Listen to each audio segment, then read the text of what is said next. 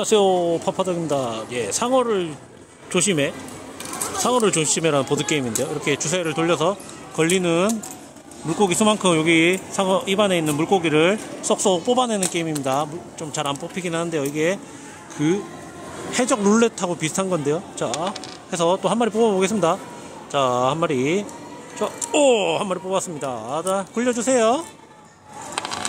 네 또 한 마리 걸어서 잡아 당겨. 아 그렇지. 오 다시 주워주세요. 자, 자 상어를 다시 해서 오 한 마리 자 한 마리 또 뽑아 보겠습니다.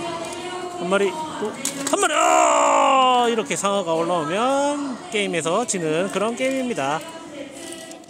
상어를 조심해라는 게임이었습니다. 재밌었다면 좋아요 구독 눌러주세요